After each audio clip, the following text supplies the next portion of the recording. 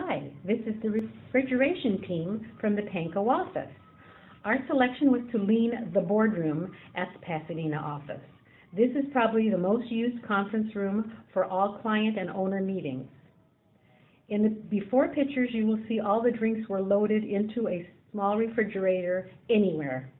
The overstocked drinks and supplies, such as napkins, plates, etc., were all stacked anywhere they would fit on the shelves, not lean.